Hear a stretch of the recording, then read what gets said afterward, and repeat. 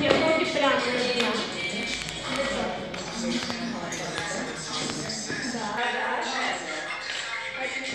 Она может такое вообще. Она просто стоит.